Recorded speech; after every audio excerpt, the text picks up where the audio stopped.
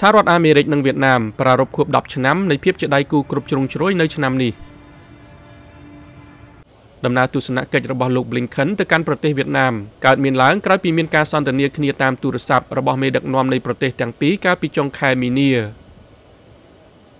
Part of these uh, discussions include uh, mutual visits by uh, leaders on both sides to ផ្នែកមួយនៃការពិភាក្សារួមមានការផ្លាស់ប្តូរទស្សនកិច្ចរវាងមេដឹកនាំប្រទេសទាំងពីរនេះជារឿងត្រូវកំណត់នៅពេលក្រោយថាតើនឹងអាចកើតឡើងពិតប្រាកដពេលណា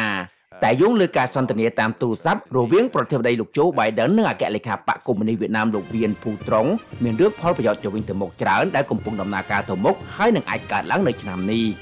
លោកត្រង់ស្ថិតនៅក្នុងចំណោមមេដឹកនាំបរទេសមួយចំនួនដែលទៅទស្សនកិច្ចនៅទីក្រុងប៉េកាំងក្រោយពីប្រធានាធិបតីចិនលោកស៊ីជីងពីងបានចាប់ផ្ដើមអាណត្តិទី3របស់លោកក្នុងនាមជាមេដឹកនាំបកកុម្មុយនីសចិន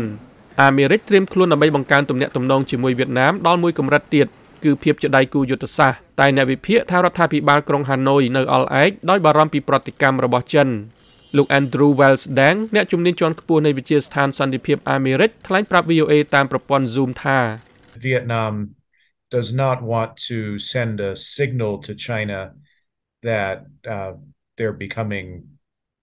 too much closer to the US. or another way of saying វៀតណាមមិនចង់បញ្ជូនសារមួយទៅឲ្យចិនថាខ្លួនកំពុងងាកកាន់តែជិតទៅអាមេរិកឬវិធីមួយទៀតដែលអាចនិយាយគឺថាក្នុងពេលអតីតកាលគ្រាដែលទំនាក់ទំនងរវាងវៀតណាមនិងអាមេរិកបោះមួយជំហានទៅមុខវៀតណាមមានការប្រយ័ត្នប្រយែងក្នុងការលើកកម្ពស់ទំនាក់ទំនងជាមួយចិនក្នុងពេលតែមួយ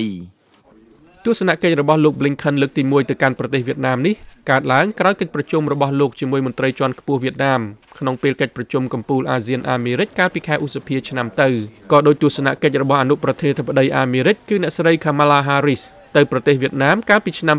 2021ដែរពីរដ្ឋធានី Washington ខ្ញុំសាយមុនី VOA